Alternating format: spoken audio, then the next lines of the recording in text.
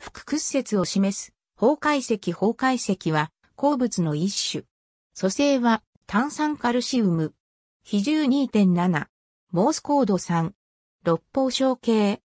石灰岩の主成分鉱物で、鉱石として扱われる場合は、石灰石、石材として扱われる場合は、大理石と呼ばれる。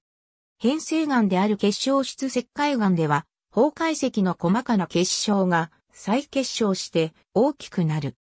純粋なものは透明か白だが、不純物を含んで色のついているものもあり、美しいものは大理石として珍重される。特に無色透明な樹形結晶のものは氷集石と呼ばれる。一般に知られる崩壊石は壁壊した後のマッチ箱を押しつぶしたような平行六面体の結晶体で腹屈折を起こす鉱物として知られており、純粋なものは工学用に用いられる。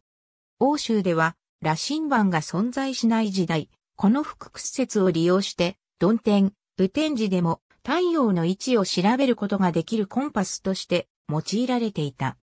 日本で工業的に採掘しているものは大理石としての山上のものに限られ、王子は各地の熱水交渉やスカルンなどの鉱山で産出された。今日でも双子山など無色透明の微小を産する場所もある。多形として荒霊石があり、成分は崩壊石と同じ炭酸カルシウムである。